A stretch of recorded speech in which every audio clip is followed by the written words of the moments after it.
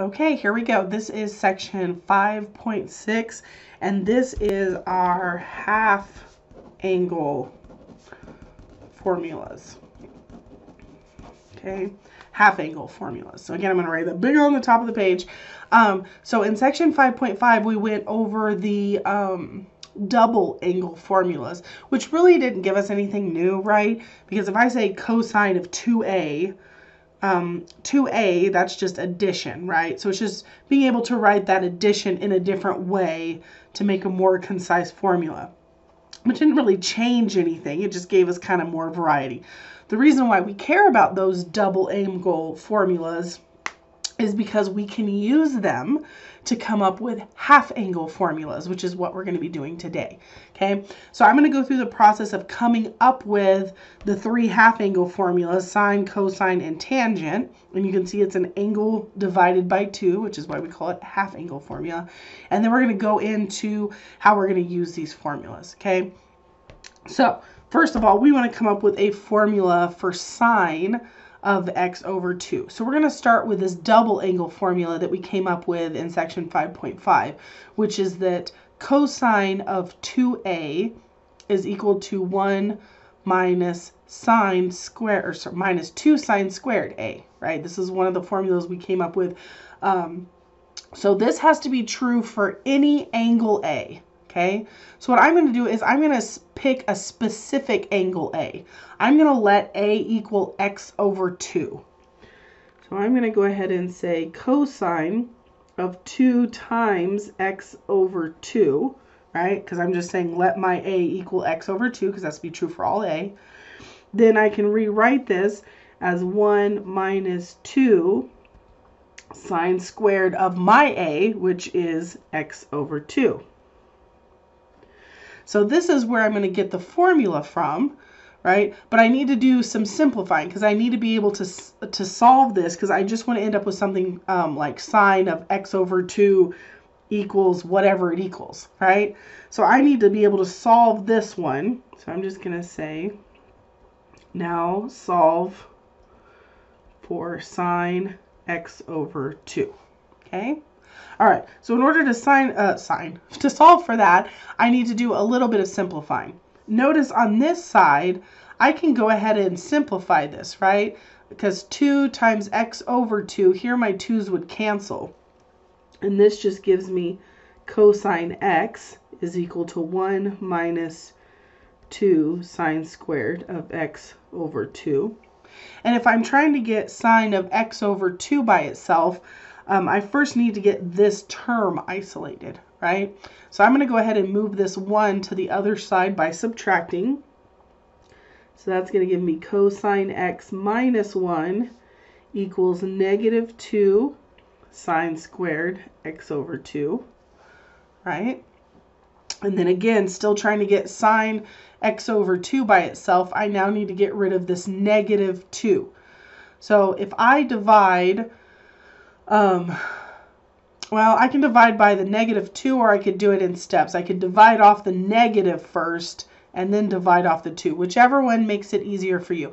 I'm going to go ahead and get rid of the negative first because if I divide the negative off this side, I would have to divide a negative on this side, right? And we really want to come out with a nice positive sine of x over 2 on this side, not a negative one, right?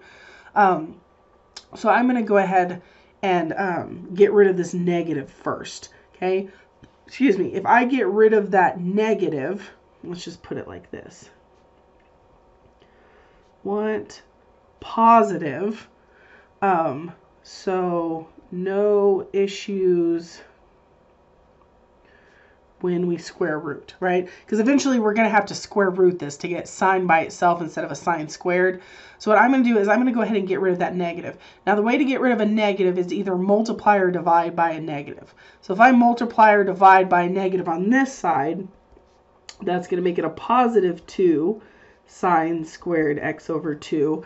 And if I multiply or divide by a negative on this side, it's just going to uh, change the signs of the terms, right? So my cosine x is going to be a negative cosine x, and my 1 is going to be a positive 1, right? Okay, so now to get sine squared x by itself, I need to divide off the 2. So I'm going to come over here because I'm running out of room. So if I divide off the 2, I'm now going to have negative cosine x plus 1 over 2 is equal to sine squared x over 2. And then the last thing I have to do to get um, sine x over 2 instead of sine squared x over 2 is I have to take the square root of both sides. And remember, when we take the square root of both sides, we have to remember plus or minus. So I get plus or minus the square root of negative cosine x plus 1 over 2 is equal to sine x over 2. So now we have a formula for finding the sine of a half angle, right? So if we need to find the sine of like 15.2, right? Or something like that, where it's some weird half angle, um, we can, we can, or maybe not 15.2, maybe like 15.5 or something like that. Um, we now have a formula for that. Now I'm going to clean this up a little bit. We usually don't like to write the negative term first. So I'm going to write the 1 first. I'm going to write this as 1 minus cosine x on top. And I'm going to write it up here so that I can circle that as this new formula we came up with. So sine of an angle divided by 2 is equal to plus or minus. Now the plus or minus, we're going to know which one to use based on which quadrant that angle is located in. Okay, we'll do an example of that here in just a little bit. Uh, plus or minus the square root of 1 minus cosine x over 2. And notice the, the square root is around the entire fraction, not just the top. Okay, so here's my first formula. So sine of a half angle looks like plus or minus uh, the square root of 1 minus cosine x over 2. Okay, now I want to do the same thing for cosine of a half angle. Okay, I want to figure out a formula for it. So I'm going to do the same thing like I did here. I'm going to take my cosine um, of a half angle and I'm going to use this formula. And, in, and because I can pick whatever a value I want, again, I'm going to pick x over 2 as my angle value.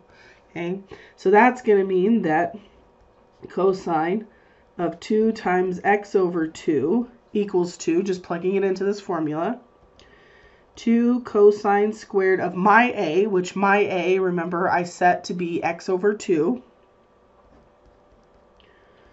minus 1. And now just like we did with the, um, with the one up here, right, I want to go ahead and solve this for cosine um, of x over 2. So I'm going to say now solve for cosine x over 2. So we can find a formula for it. Okay. So first thing I want to do is some simplifying. Over here, my 2 on top and bottom cancel. So that leaves me with just cosine x is equal to 2 times cosine squared x over 2 minus 1. And if I'm trying to get this cosine of x over 2 by itself, I need to move that 1 to the other side. So I'm going to go ahead and move that 1 by adding. So that gives me cosine x plus 1 is equal to 2 cosine squared of x over 2. And here, here we don't have to worry about getting rid of a negative, right? On this one, we had a negative that we needed to get rid of before we could divide the 2 off. This one, we don't have a negative term, so we can go straight into dividing both sides by 2. So that's going to give me cosine x plus 1 over 2 is equal to cosine squared x over 2. And then I can go ahead and take the square root of both sides. And don't forget your plus or minus. So that's going to give me plus or minus the square root of cosine x plus 1 all over 2 is equal to cosine of x over 2. And again, we're going to know whether or not to use the plus or the minus based on which quadrant our angle is located in. Okay. And then I'm going to go ahead and rewrite this one so it looks similar to the other one. Notice the other one I wrote the 1 first and then the cosine term. I'm going to do the same thing here. So really the only difference between the sine of a half angle formula and the cosine of a half angle formula is that I'm adding the two terms on top rather than um, subtracting them. So my cosine formula here is going to be plus or minus the square root of 1 plus cosine x all over 2, right? And now we have a nice formula for a cosine half angle value, okay? All right, so now that we have the sine formula and now that we have the cosine formula, we can now find the tangent formula. And we can actually find the tangent formula in a different way than we did the other two because we know that tangent of x over 2, we know we can write tangent as a ratio of sine and cosine. So we could write this as sine of x over 2 divided by cosine of x over 2 right? And now we have formulas for both of those. That's what I circled up here in orange. So now I can just put in those formulas.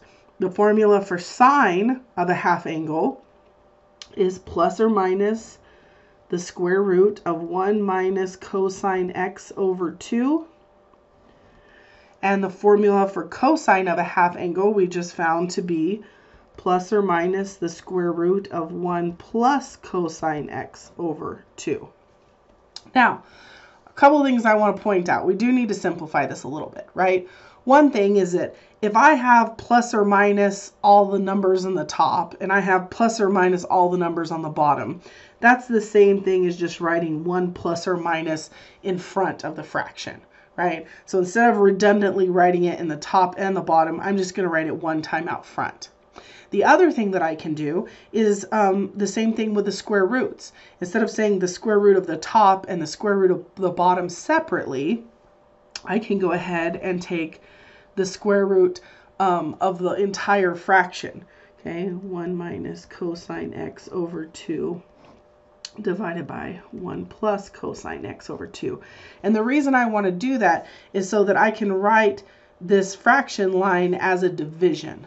Okay, so let's go ahead and do that down below. So I have plus or minus the square root. And when we do a division, we keep the first fraction the same, and then we multiply by the reciprocal of the fraction we're dividing, right? So I have 1 minus cosine x over 2 from the top, and then I'm going to multiply by the reciprocal of the um, fraction from the denominator. So that's going to give me 2 over 1 plus cosine x. And you can see here my 2's will cancel. And I'm left with plus or minus um, the square root of 1 minus cosine x over 1 plus cosine x. Okay? And this is our formula for tangent. And I don't really have enough room to write it right here. So I'm going to go ahead and come and write it down below. So tangent of x over 2 is equal to plus or minus the square root 1 minus cosine x, 1 plus cosine x. Okay, so that is our tangent formula for half angle. Okay, so now we have our three formulas that we can use to calculate our half angle. So on the top of the next page, you can see I went ahead and just put them all here so we wouldn't have to like transfer them over. So here's our half angle for sine. Here's our half angle for cosine. Here's the tangent of a half angle that we just solved for. And now these two right here, these are basically, um, I'm not going to worry about showing you how to derive these two. Um, basically, they're just algebraic manipulations of this one. Okay, so if I were to take this, this tangent angle, I could actually do some multiplying, right? you notice these kind of look like difference of squares uh, quantities. So if I multiply by a certain type of form of 1 here, um, I can come up with these other two formulas uh, for tangent of a half angle that doesn't involve the square root, which is really, really nice. Okay, so again, I'm not going to worry about deriving these two, but whenever um, you're looking for a tangent of a half angle formula, you can use any of these three, whichever one looks like it's the most simple for the situation you're dealing with. Okay, all right, so let's look at how we're going to use this or how we're going to use these formulas. So it says use the half angle identities to find the exact value. Anytime you see the exact value, that means you're not going to be using decimals. You're probably going to end up with square roots in your answer somewhere, but you want it as simplified as possible, okay? So we want to find the exact value of sine of 22.5 degrees. Now, 22.5 degrees is not something pretty, right? That's not, that's a half angle, literally. It's 22 and a half. Um, and that's not something that we want to try to make a reference triangle for. So what I want to do is I want to create a half angle using this. I'd love to end up with sine of some angle over 2. So what I'm trying to figure out is what angle do I have to divide by 2 to end up with 22.5? Or in other words, if x over 2 equals 22.5, then what does x have to be, right? So if I take an angle and divide it by 2 to get 22.5, I could take 22.5 and multiply it by 2 to figure out what that angle is, right? Or cross multiply. So that would mean that x is equal to, if I take 22.5 and multiply it by 2, that gives me 45 degrees. So basically what we're saying is 22.5 is half of 45 degrees, right? And so I can use this. So what I want to do is I want to calculate sine of 22.5 degrees, but instead of writing it as 22.5 degrees, I'm going to write it as 45 degrees divided by 2. Does that make sense? You agree that 45 divided by 2 is still 22.5. But the reason I'm writing it like this is because now I can use this sine of a half angle formula that says whatever this value is on top, whatever that angle is on top, that's the value we're going to calculate the cosine value of. And I know how to find cosine of 45, right? So I'm going to go ahead and plug this in. So sine of our angle over 2 or sine of 45 over 2 is going to equal plus or minus the square root of 1 minus cosine of our x value. Now remember our x value was the angle on top that we're dividing by 2. So we're going to be doing cosine of 45 degrees all over 2. Okay. Now the other thing we need to be sure of is we should know if this is a positive or a negative because we know what quadrant 22.5 degrees is in, right? If I think about this, if I wanted to graph, I'm sorry, this is 0, 90, 180, and 270, and I asked you to graph 22.5 degrees, that's going to be down here somewhere, right? So we know that this is in quadrant 1. So if this angle is in quadrant one and we're calculating the sine value of it, right? Sine has to do with the y's and all of the y values in this quadrant are positive. So we know we're going to take the positive value, okay? So I'm going to go ahead and just write this out. So we know it's going to be positive, so I'm just, I'm not going to write the plus, but we know it's positive. So square root of 1 minus. Now cosine of 45, if you look at your unit circle or your chart um, that I gave you back in section 5.3, you'll see that cosine of 45 degrees is the square root of 2 over 2. And then that's all over 2.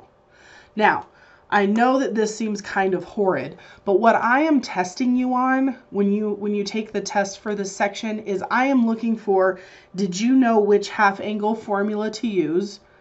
Were you able to find the correct angle x, which in this case is 45? And then were you able to find the evaluated trig function value, which is this step? So on an exam, I'm going to go ahead and just say stop here for the exam. Okay, so once you've you've got your formula and you've plugged in the value of the trig function, that's as far as you need to go for a test. Okay, that's all I'm grading. I don't care if you simplify it any further past that point.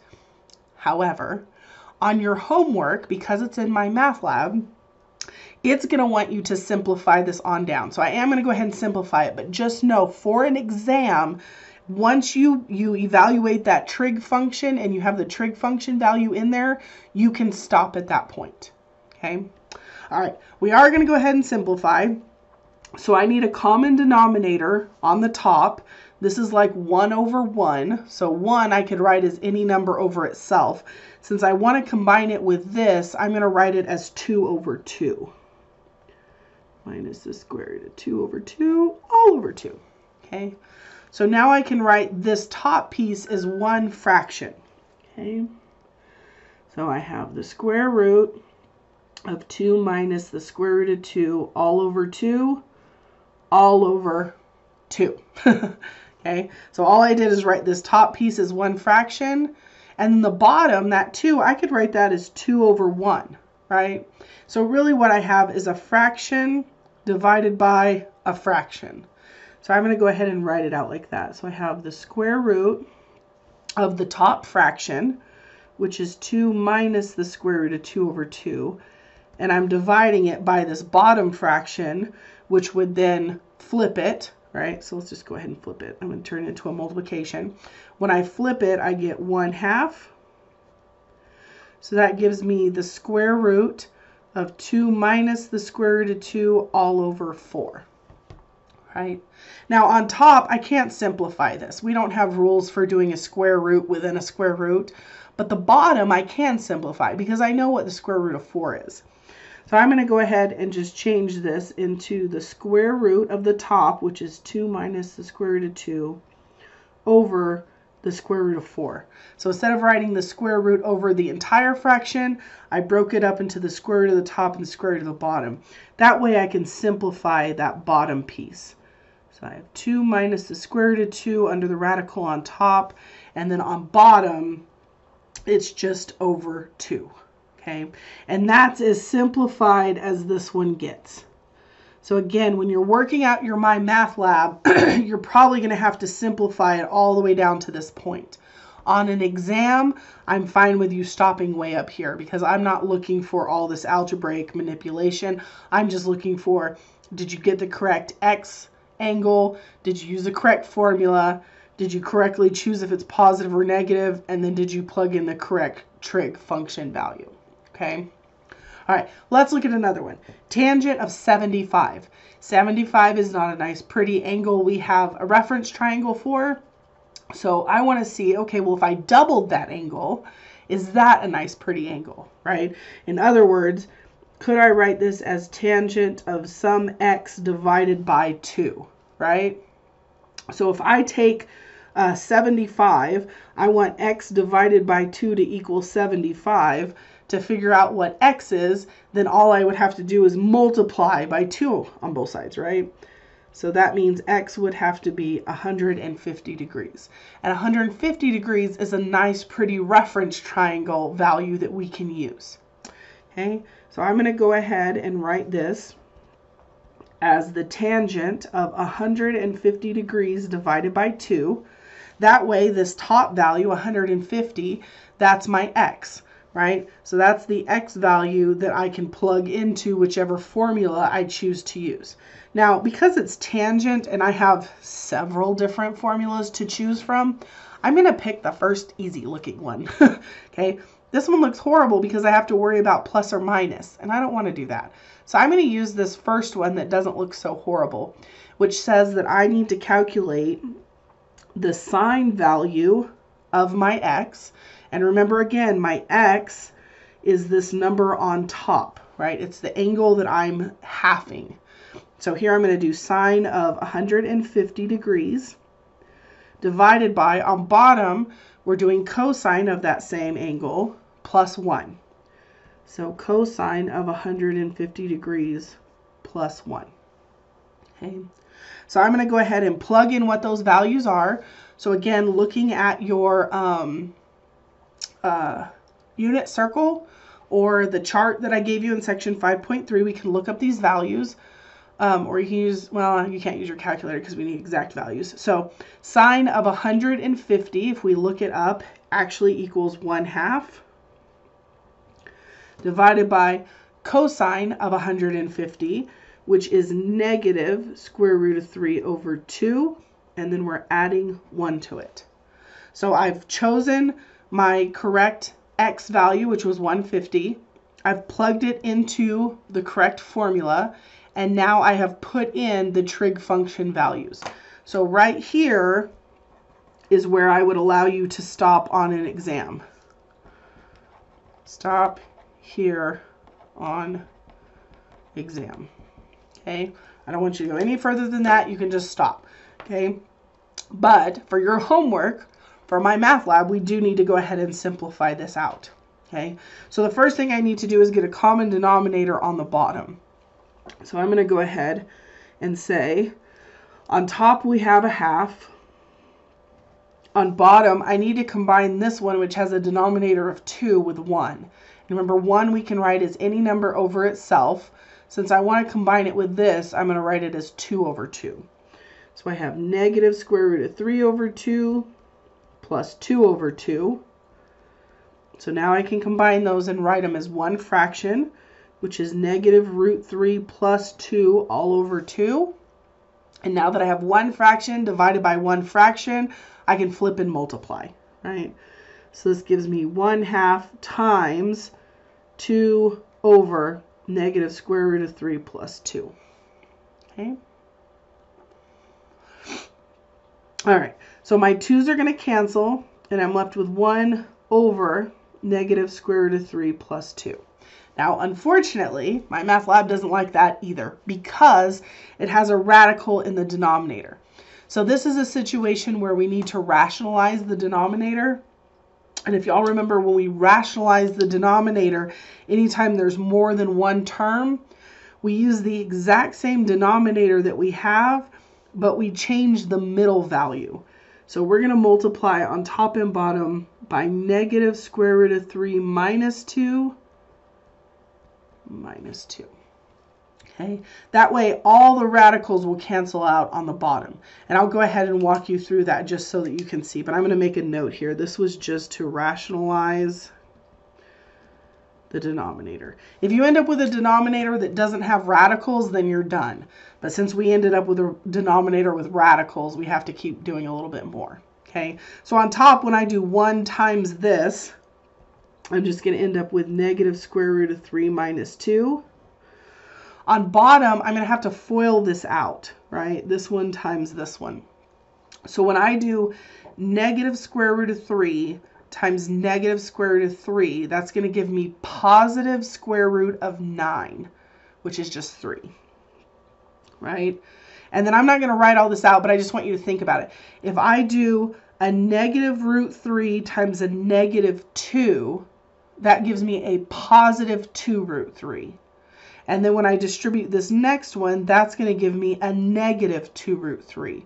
So when I do my outers and my inners, inners, my outer and my inner, right, then those are going to cancel because I'm getting opposite terms. And then when I do my 2 times my negative 2, I get negative 4. So this does simplify down to something that does not have a radical in the denominator, right? And then when we divide by a negative 1, that just changes the signs. So this just becomes square root of 3 plus 2 as my final answer. Okay, so I apologize for the extra work involved just getting it down to simplifying, but I wanted to show you how to completely simplify because the first 10 or 11 problems on this section, it gives you something like this, like a sine of this, tangent of this, cosine of this, and it just has you match the answers. So you have to figure out um, what this looks like. And if you stop here, you're not going to be able to know which, which answer matches um, the correct one that you should be getting. Okay. Okay.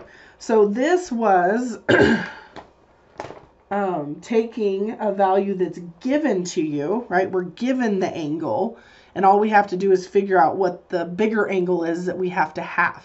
I want to show you a couple examples of one where um, the angle is not given and we have to do a little bit deeper thinking on it. Okay. All right. So again, I went ahead and wrote out our three formulas. So here's our sine of a half angle identity, cosine of a half angle identity, and here's our tangent of a half angle, and I wrote out all three ways, okay? So here's our problem. Um, given this information, we're going to do 1 and 2 on this page and 3 on the back page, okay? So it says, given cosine s equals negative 3 over 7, with s between pi and 3 pi over 2, we want to find sine of s over 2. Okay? All right. Well, they're wanting us to find the sine of a half angle but they're giving us information based on the full angle, right?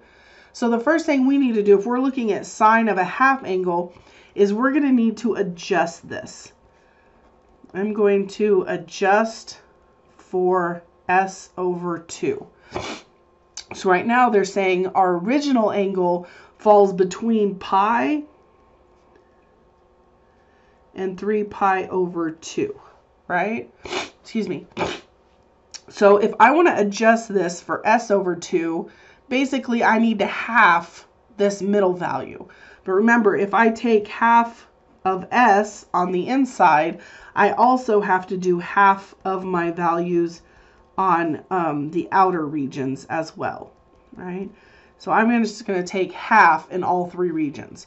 So what that tells me is that s over 2 has to fall between pi over 2 and 3 pi over 4. So let's think about where that is um, in terms of quadrant, right? Well, pi over 2 is right here, right? Now we need to think about where 3 pi's over 4 is. So 3 fourths of a pi. Well, this is all the way to pi, right? This is halfway to pi. So 3 fourths of the way to pi would be right here, right? 3 pi over 4, right? Because here's 1 fourth, here's 2 fourths, here's 3 fourths, and then 4 fourths would be all the way down there. So what we're saying is that um, our angle divided by 2 has to fall somewhere in here, okay? So what that means is that it's going to be in quadrant 2, okay? So quadrant 2 has a positive sine value, right? Over here, quadrant 2 sine is going to be positive and uh, cosine is going to be negative, right? Because sine has to do with our y value. Over here, our y value is above the x-axis, so it's positive. Cosine has to do with our x value. So in quadrant 2, if we're to the left of the y-axis, um, that's going to give us a negative, okay?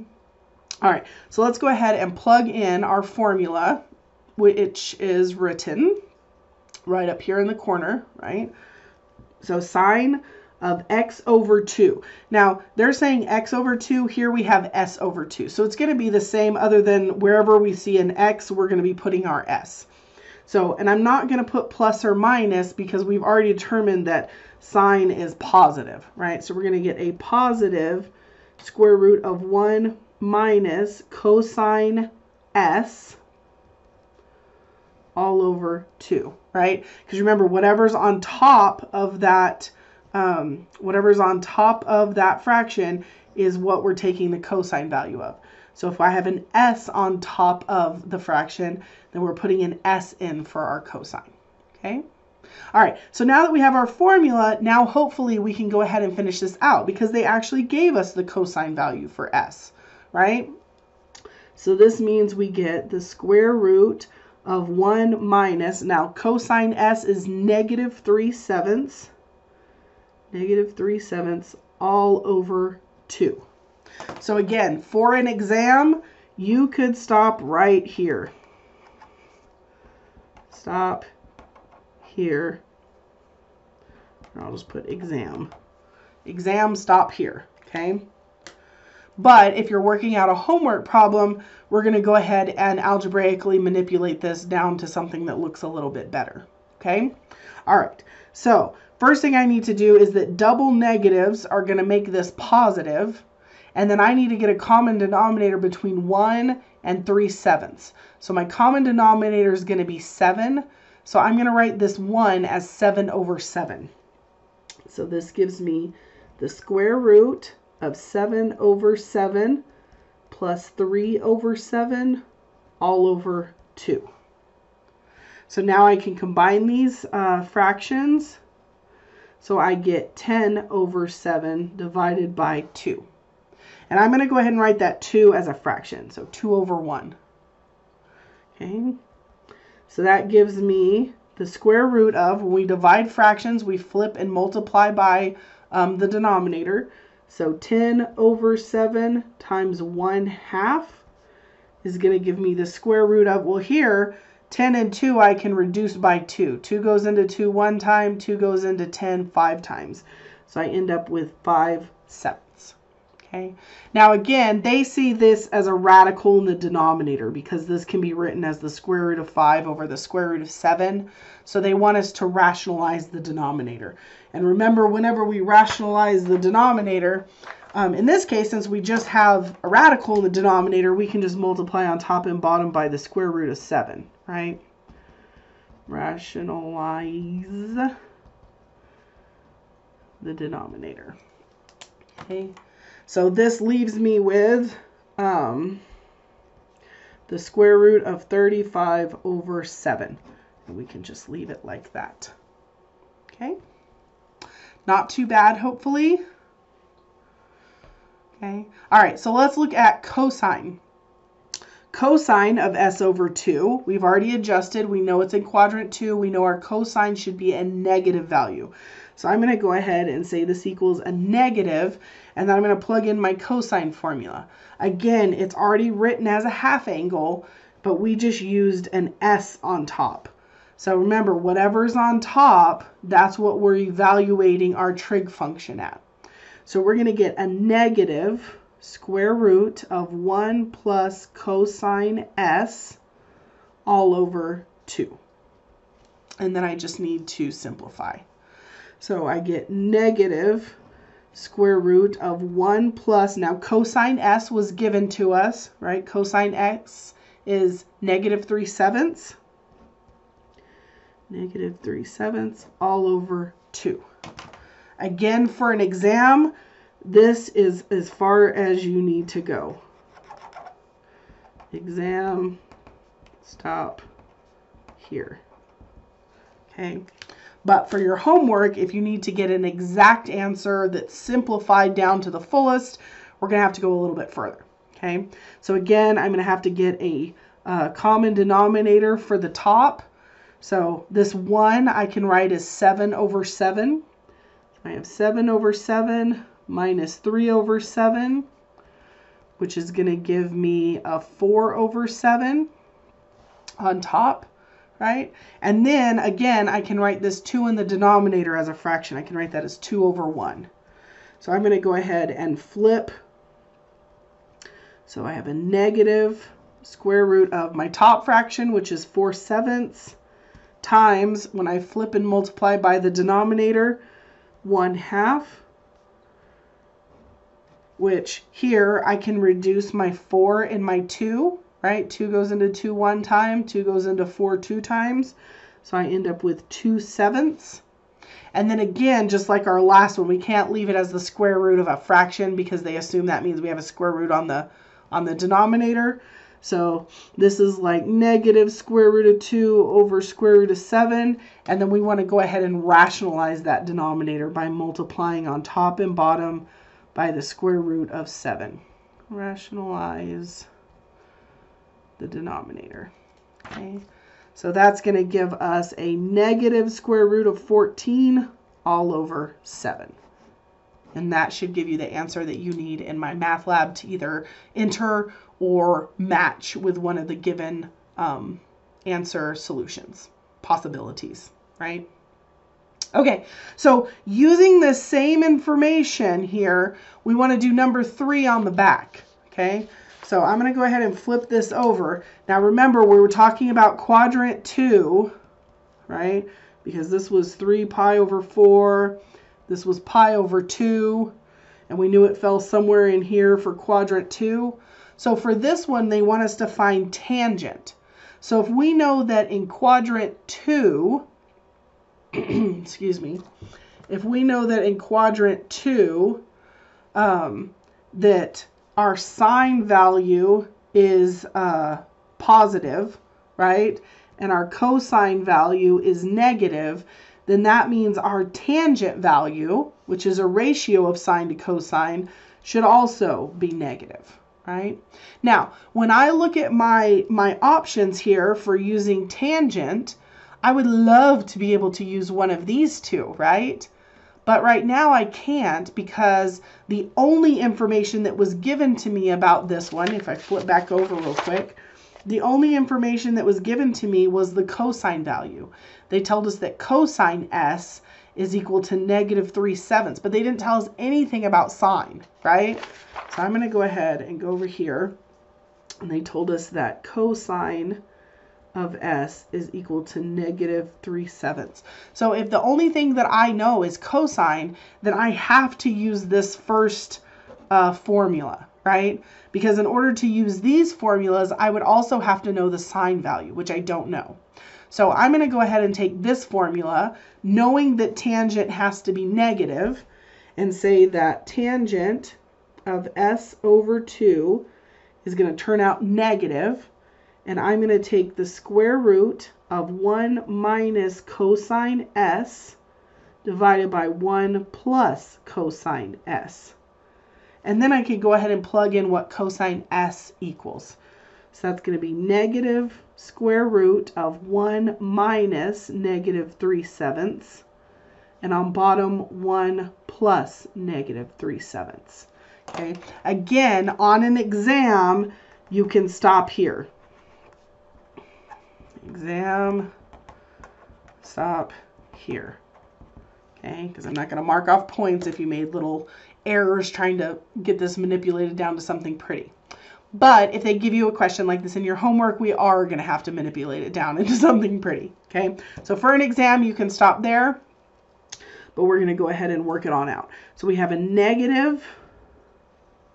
In the top, I need a common denominator between 1 and 7, which would be 7. So I'm going to write this 1 as 7 over 7. My double negatives are going to become positive. And then in the denominator, same thing. My common denominator between 1 and 7 is going to be 7. So I'm going to write this 1 as 7 over 7 minus 3 sevenths. So I get negative square root of 7 sevenths plus 3 sevenths is 10 sevenths. And on bottom, 7 sevenths minus 3 sevenths is 4 sevenths. Right?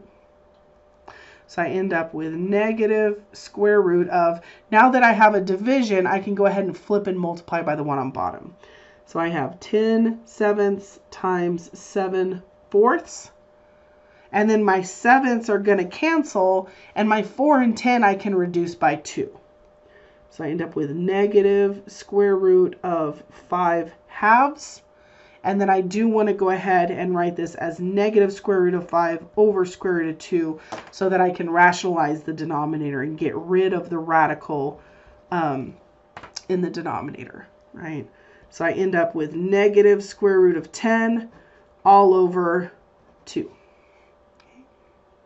And I just leave it like that. So just a quick note, if we really didn't want to use this formula, we could have used one of these other formulas, but we would have had to have known what sine x was, right? Or in this case, sine s. So if we wanted to figure out what the s or the sine value of s is, we could have actually done that using um, a reference triangle. So I'm going to do this down below. You don't have to do this, but um, I just want to show you this an, another option for your homework. Okay, so basically we're asking how would you find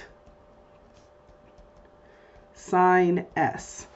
Okay, so remember the only information that they gave us um, about S, okay, this was this is what we modified to get S over 2. So that's not what we're talking about. We're talking about the original information they gave was that cosine S is equal to uh, negative 3 sevenths, and they told us that our S angle was between pi and 3 pi over 2.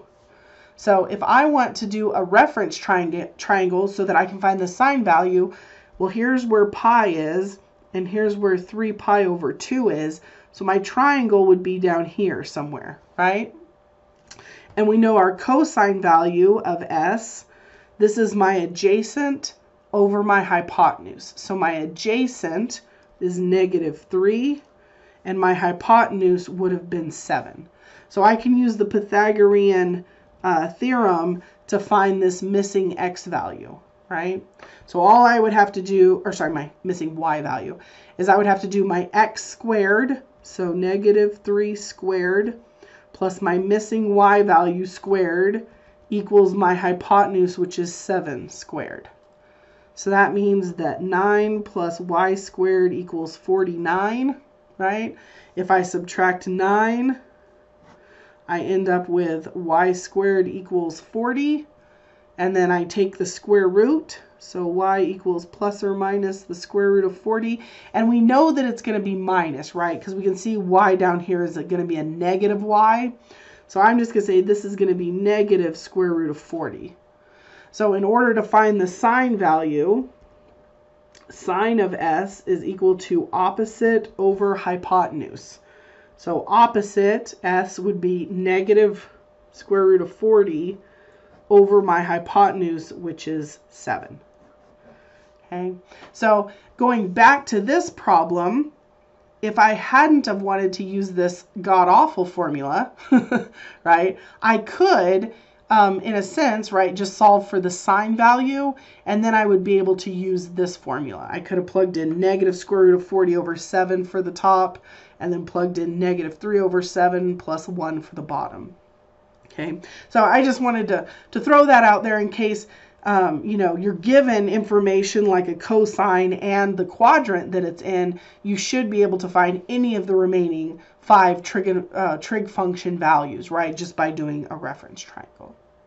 Okay, so 5.6, um, I do not have a worksheet for it, I believe, um, but you should now be able to complete that homework assignment.